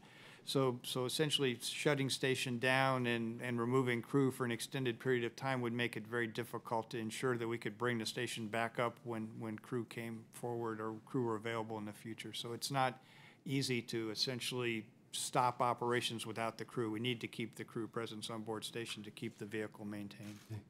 Uh, Would it be feasible, even remotely, uh, to relocate the ISS, say, to an orbit around the, the moon? We, we've looked at that. It's, it's attractive, but physically, it just doesn't seem practical. The amount of energy to, to do that isn't there. Um, the number of orbits, if you, even with low propulsion, you'd have to circle through the Van Allen belts multiple times over multiple months. And, and by the time you get there, there's, it's not physically possible to, to maneuver large pieces of station. You might be able to, to deconstruct and use small pieces of station, but generally, you're probably going to want to use those small pieces in the same roughly inclination orbit that space station is in today. Okay. Uh, Mr. Martin, you mentioned that we've invested about 17 billion in the ISS. 17 billion in commercial cargo and crew transportation. Okay. Significantly more in the ISS, upwards, the the numbers, depending on what you're counting, but it could be 80 billion to 100 billion over the 21-year life of the station. Okay. Uh, what kind of investments have our partners made? The international partners pay for approximately 23% of annual station costs. Okay. Uh, Mr. Stallmer, from an industry perspective, uh, how has the public-private partnership uh, benefited the ISS and uh, LEO missions? I think it's greatly uh, contributed. Companies like NanoRacks has invested $40 million. I think they're one of the larger uh, investors on the International Space Station, uh, creating, uh, they will be uh, developing their own airlock uh, for the International Space Station. I think that's going to be delivered in, in 2020, in that time frame. So I, think they're, you know, again, when you talk about um, the, numbers that Mr. Martin is talking about, yes, it is a large uh, contribution. But I think it's it's it's what the the the vision of NASA is. Was NASA designed to be you know an economic driver, or was it designed to be an agency for exploration? And uh, and I think we got to look at what our priorities are and what NASA's priorities are, and working with the the commercial sector on this. And I think. Uh, the partnership with that NASA has had over the past two decades, uh, working with the, the commercial industry, um, the, the, the sharing, the information sharing and, um, and the service sharing that we've had, I, I think it's, uh, it's only going to grow. So I'm very optimistic about that. How do you think the relationship could be improved? Uh, there, I, I, think just the, the, communication on, on the, the pricing, uh, the stability on pricing as they, they've recently uh, released. I think, I think greater access. I think once we're able to launch American astronauts from American soil on American vehicles, um, I think that that type of partnership that's going to open up uh, of having routine access to space, I, I think we're going to see a lot more opportunities. I was inspired by Scott Kelly's book, Endurance on what it took uh, for a year on, on, the, uh, on the space station and the challenges that they had, and routine challenges, um, just regular uh, preventive maintenance they need to do. Um, and I think having this, this commercial access and not being dependent um, on, a, on a foreign nation to provide our astronauts uh, access to space at you know, rather large uh, rates and the cost savings that we'll have, I think it's going to greatly enhance the, the capabilities that the commercial uh, sector and, and NASA can, uh, can greater partner with. But I think we have a very good partnership, and, uh, and I think Mr. Gerstenmaier's leadership has been, has been outstanding on that front. Uh, thank you. Thank you, Madam Chair. Thank you. Thank you. The chair recognizes Mr. Well, no, he's not there. Uh, the chair recognizes Mr. Olson. I thank the chair and welcome to our four expert witnesses. One thing we all agree upon the activities of the ISS must keep going and expand in the future. We can't go back one step back. We can't do that. The question is will that future be the ISS, some expansion, some new experiment platform, maybe something on near the moon or something based on the moon. We avoid human debris fields for sure, but that's very expensive. And so, regardless, the International Space Station has been a great asset. I want to remind everybody what this space station has done. Every single day since November 2nd of 2000, we've got a human being in orbit on the International Space Station, 230 miles above our planet. And in fact, our two honored guests over there, these two amazing ladies, weren't born when the station went into orbit became active.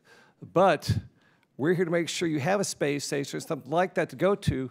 You walk on the moon or walk on Mars and wave to us and say, hey, Energy uh, Committee there, Space Science Technology Committee, I'm on Mars, I'm on the moon.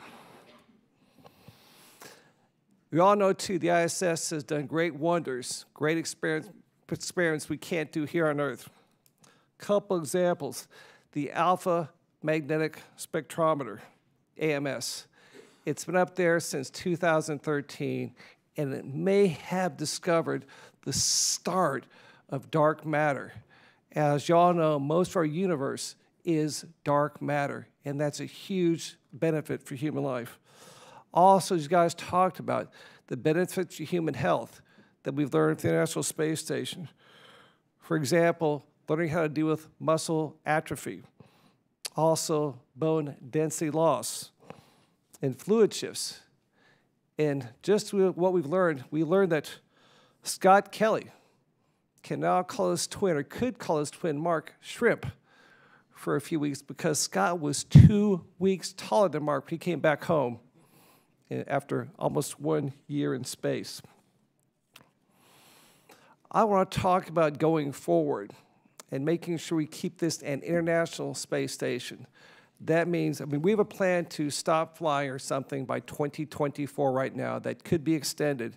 I want to ask a question of all of you, starting with you, Gerst. How are international partners engaged in this they want us to extend it. How long? What will they pay? I mean, again, this is, we've got Japan, China, Russia, America, including the Republic of Texas, European Space Agency, Belgium, Denmark, France, Germany, Italy, Netherlands, Norway, Spain, Sweden, Switzerland, United Kingdom. All these nations are involved right now at space station. How are they going forward with our plans? Do they want to go to 2024 longer? And what will they put up to help us go make those things happen? I think in general, the international partnership wants to continue using station. They see it still as a resource that has plenty of life in the future, and they want to continue to use it. There's a European ministerial at the end of this year, in uh, November of this year, and at that time, we should see a formal position from European Space Agency about their position of using station beyond 2024. Mr. Martin. Again, just a caution, every space agency, like every government, has a limited budget. So ESA's budget, uh, while significant and important to maintenance of the International Space Station, is much, much smaller than NASA's. I've, from what I've read, they've shown some interest in being part of a Chinese, a planned Chinese space station, set to launch and begin construction in 2022. I just don't know that their budget is large enough to continue their current commitment to the ISS past 2024, as well as partake in perhaps the Artemis mission with the U.S. or the Chinese space station activities. Mr. Tauber. The United States is the global leader in space, and I think we need to continue to be that way. I think the international partnerships uh, that we have on the, uh, the space station are critical uh, and, and most necessary, and I think we sh should continue to engage our, our global partners. But do keep in mind, um, when you walk around the United States, the Republic of Texas, uh, all over the world, uh, you see people wearing NASA T-shirts. Yep, yep, yep. It's a brand. You don't see people wearing other space agency, the Polish space agency, or anything else uh, T-shirts. So I, I, think that's critical to keep in mind. The leadership that NASA provides the world um, is imperative. And not to butch name, but Dr. G, any comments on? That's what my students call me. Please feel free. um, and as a Gabrynowicz, I do not like you dissing the Polish space agency. I, I only do that because they're one of the newest space agencies around, and okay. I don't know what their logo is. But I'm fully supportive of the Polish Space Agency and all global space agencies, except for two. Okay. Um, coming from a space law perspective, the reason why we have the Outer Space Treaty and other treaties is because the world faced its worst fears at the time, placing nuclear weapons in space. And people forget that the Outer Space Treaty prohibits putting nuclear weapons in space, which makes it one of the most important treaties of the 20th century. But the treaty also provides for our highest aspirations, which are uh, space is dedicated to peaceful purposes for all humankind. When the space station was first proposed by President Reagan, it was the height of the Cold War. The Soviet Union were, was our enemy. And then a funny thing happened on the way to the space station. The Cold War came to an end, and the Soviet Union became the Russians, and the Russians became a partner. And now here we are in the era of globalization, and we've had a space station for 30 years in which we have learned how to work together with one another. And each, each, each country that is in that station is making a commitment financially, technologically, and otherwise that relative to their assets is just as great as what the United States provides. And I would point out the Canadarm as a fantastic example of that. The Canadarm, in terms of dollars, is a relatively smaller uh, contribution than some of the other bigger elements. But we would not have a space station without the Canadarm. So I think we need to think of the space station in terms of quality as well as quantity, and the quality of the relationships we have with 15 other nations through the space station agreement is not to be understated. We're my time, Chairman. I thank you so much. I want to remind you there's a special countdown happening right now around Johnson Space in Houston, Texas. It's T minus 94 days and counting until the Texas Longhorns repeat and beat the Oklahoma Sooners. They boom them in Dallas, Texas. I yield back. I, I think you're being overly optimistic. and, and let's just be clear it's OU Texas, not Texas OU. Uh, for all of the Texans in the room. Uh, you know, see what you started, Mr. Stallmer, you know, Polish Space Agency. Of course, Mr. Olson. Thank you, thank you very much. The chair recognizes Mr. Waltz. Hopefully the Floridian won't cause quite as many problems as our Texan over here. Well, I do have to say thank you, Madam Chair. Um, we've heard a lot about Alabama as the um, as the home of space and, and the Republic of Texas, but I think we all know where space DNA really resides, which is in Florida, and, and excited to celebrate the 50th anniversary of, uh, of Apollo 11 coming up. So a lot of a lot of discussion today uh, around the international aspects of uh, of the ISS. I am very focused also as a member of uh, the Armed Services Committee on what the Chinese uh, in particular are doing in space. I think it is always worth remembering and reminding that the the Chinese military is behind every component, major component of what the Chinese are doing in space, whether that's in their new space station or if they uh, have manned research station on the moon. I put research in, in air quotes uh, on the moon, and that basically everything that NASA has has done going forward or, or looking backwards uh, has not been in the same type of competitive and particular and potentially hostile environment that we will look at going going forward. So I think we all agree that American and NASA leadership in space must continue. Uh, we must maintain a low Earth orbit. Please interject if you disagree that we must maintain LEO uh, and we must maintain a presence, and particularly if it's a competitive space uh, going forward. But the disconnect seems like the white elephant in the room is whether this plan will actually work with commercialization and whether will work in the timeline. And I'm hearing, um, I'm hearing from the inspector general that some skepticism. Is that fair to say that the plan will actually work to be able to take on that O&M budget of operating the space station uh, in the timeline proposed? Skepticism is in an inspector general's job description. Sure, I know it's built in. Uh, it is. It's a real concern. The $1.2 billion operation and maintenance annual cost of maintaining station. Right. Correct. So, so President Reagan put forward a plan, what, approximately 10 years in advance, uh, what is NASA's? I mean, what is NASA's Plan B? I've heard, I've heard you ask. When are we going to see that Plan B? That if the figures don't work and the private sector can't take it on, when are we? When, are, when what's the decision point to extend beyond 2024? And then what's the what's the decision point to extend beyond 2028 or to have a new vehicle or to have a new platform in place? Mr. Gerstenmaier. We have some time to decide for the new platform in place. That's not an immediate problem. I think we need to. What What is the time horizon? Is it six years? Then, if it's not ten, then is it five years, six years? What is as you're look in the military? We forecast right. What's that decision point? It's probably about six years out or so. So that would be probably 20, 30 kind of lifetime, and then back that up six. Assuming the four year extension. Yes. Okay. Yeah, and so, but, but I think the more important thing is we need some stability and understanding for the commercial sector so they can plan. I think it's also probably not appropriate to assume that the private sector is going to take over all the costs of the capability we have in low Earth orbit.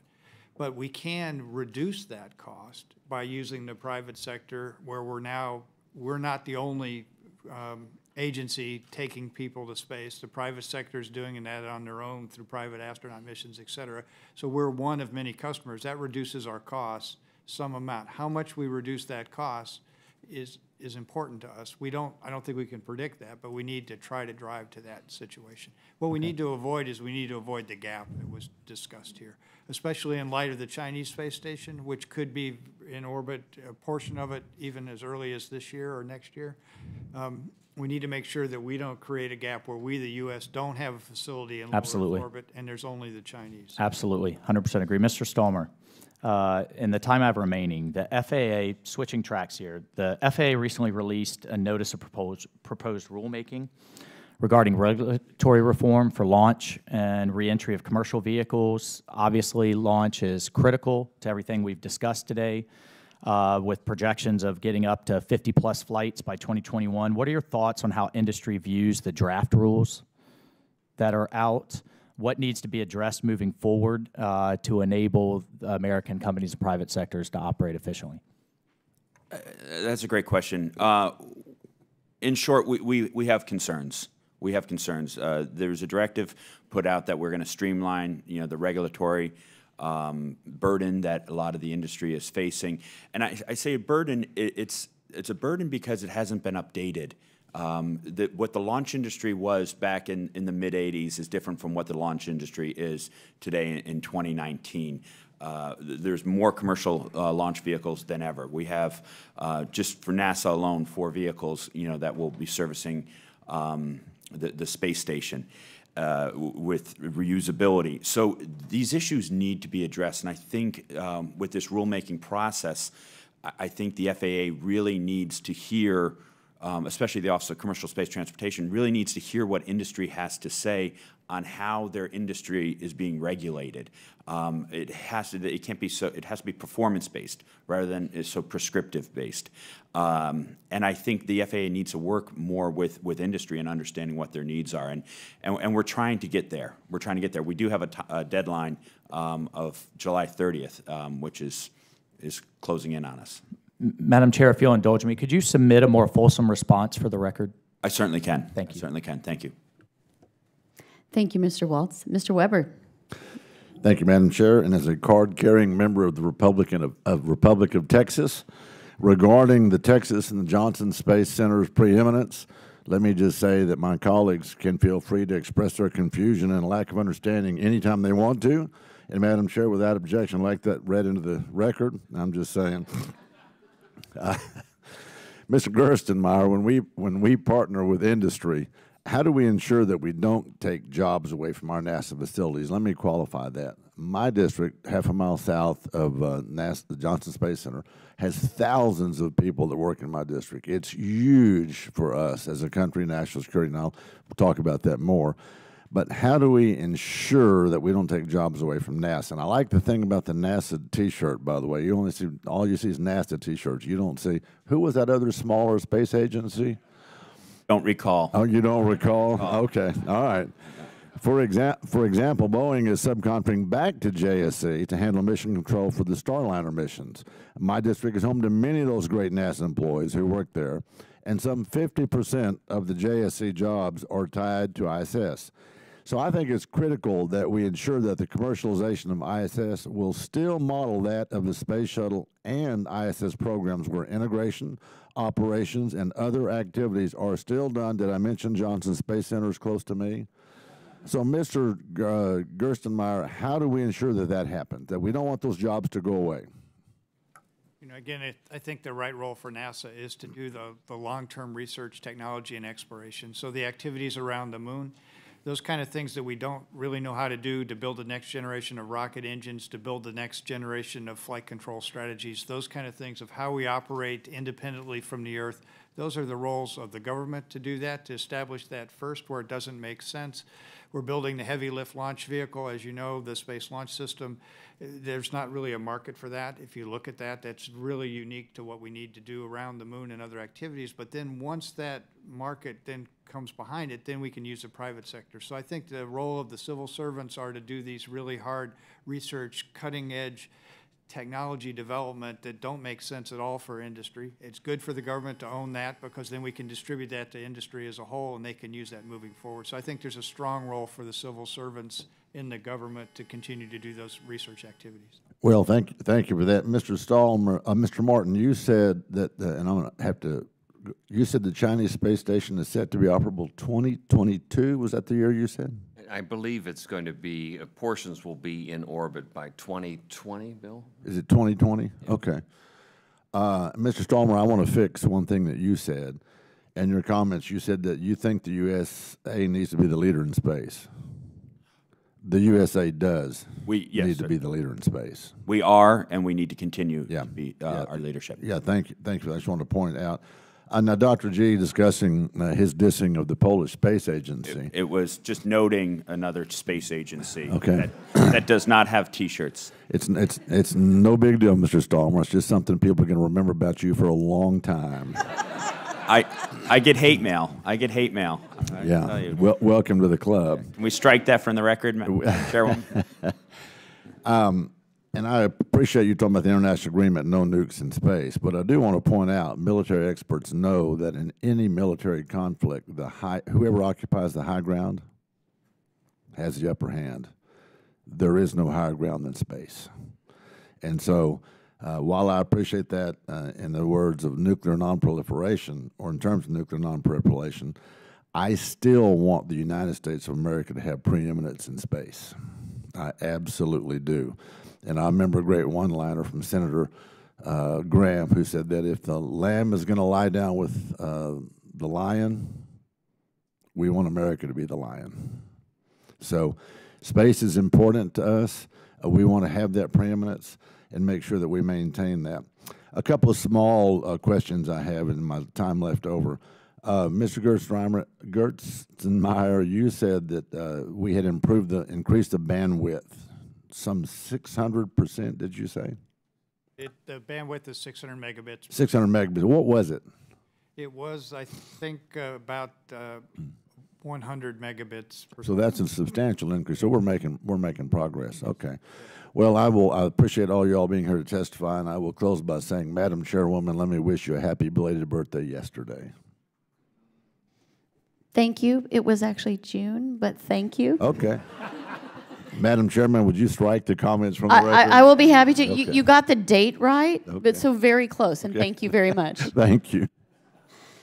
I, I, think we can all point to Mr. Stallmer as having started the trouble with his with his comments uh, about the the, the Polish uh, space agency. Um, but but I want to. I've got a couple more questions. I want to sincerely thank uh, all of the members on this committee and all of the panelists. As you can tell. Uh, this is uh, an issue that is critical. I know it's not news to any of you, but it's also an issue that is critical to all of us that we are attempting to ask and and uh, frame these important questions about how we move forward, uh, about how we avoid capability gaps i- in the future and an absence of a, of a, a space station, the absence of the ability to do research and, and exploration in low Earth orbit, the, the issues surrounding certainty and the, the investment of our taxpayer dollars and how we get there. Where is the role of a, an emerging commercial sector and how much we subsidize uh, these priorities that are critical to all of us, as well as uh, Dr. Gabrynowicz, the the legal structure and the legal questions that will inevitably face us. Because, uh, Mr. Weber, I agree with you. Absolutely, we have got we we absolutely have to invest and be intentional about maintaining our investment and our preeminence in space. It is important for our scientific advancement. It is important for our national security and for our, our commercial sector and, and our ability to move forward. Uh, and so having said that, uh, I, I want, I've got just a couple more very quick questions before we, we close out this hearing that I, I think are, that have been raised for me. Uh, throughout the throughout the questions, I, I, I've seen a, a few themes from all of you and from all of us: the the capability gap and the transition, how we navigate that, and what the extension is. Uh, the need for certainty, both from NASA and from the commercial sector, for us to plan, because space and complicated issues require ongoing planning. How we prioritize and where we have to make those hard choices uh, about the pathway forward and and finally the the risk and and the legal structure and the the need to to ask all those questions and for us to give authorization and and put that into law on the legal side but also a, a framework so uh, uh, Mr. Martin I there's there's a question that I would I, I wanted to ask you about uh, the, the, the, the cost and the subsidies for commercial. And so my question is, what is the percentage uh, of subsidy as a part of the commercial LEO development plan? We've talked about different aspects of it, but can you speak to the percentage of NASA subsidy? We're talking about the newly released? Yes. 85%. 85%, okay. And uh, Dr. Gabrynowicz, uh, one additional question. When we're speaking about the U.S. government responsibilities and legal obligations under the Outer Space Treaty uh, and looking forward with commercial astronauts and other commercial entities, what level of ownership does the U.S. government need to have in order to ensure sufficient oversight of a commercial space station? That's not an answerable question at this point because the law doesn't speak in degrees, it speaks in principles at this point. Could you speak to some of those principles that need to be taken into consideration or used to create that legal framework then? Well, um, regarding the Outer Space Treaty is the principle I raised about international responsibility. That is, that is a principle that the United States government is responsible for its non-governmental space actors. The degree and kind of responsibility is going to be defined by what actually happens. And we don't, these would be cases of first impression, so we don't know what it's going to be. Uh, then the other principle is in the International Space Station Agreement, which says even with the transfer of elements, the obligations of the partner still remains.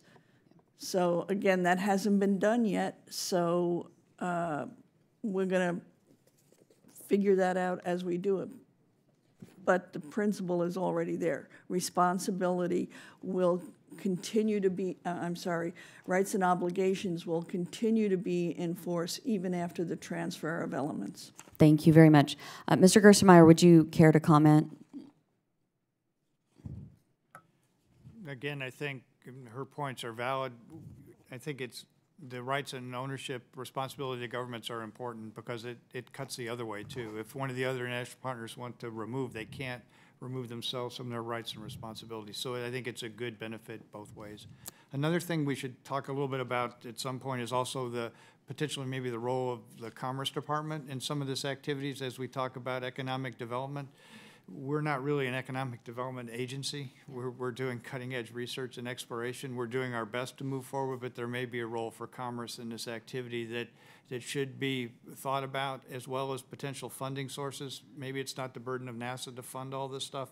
Maybe some of these transportation costs and other things may come from other areas of the government, but those should be discussed as well. Thank, thank you for raising that point. Yes, there are very clearly uh, issues surrounding commercial development and the, and the Department of Commerce that, that this committee and others will need to tackle moving forward. So, uh, Mr. Babin, do you have further questions? I have no other questions except to say it's been a great uh, hearing. I've enjoyed uh, listening to, to the expert answers. Thanks, thank you for having this. I also want to say thank you to you Johnson Space Center folks that uh, came up here to uh, to visit and get a little uh, continuing education. And uh, proud of you for being here and all the great work you do back home. Thank you. I yield back. Thank you, Mr. Babin. And yes, thank you to all of our civil servants and, and the work that, that you've done. And thank you to our panelists. I, I agree, uh, this is an important topic, and, and your insights were incredibly valuable as we tackle this, this critical issue about how we make the transition. And uh, I want to thank the, the committee as well as all of the witnesses for, for your participation. And note that the record will remain open for two weeks for additional statements from the members and for any additional questions the committee may ask of the witnesses. And the witnesses are excused and the hearing is now adjourned.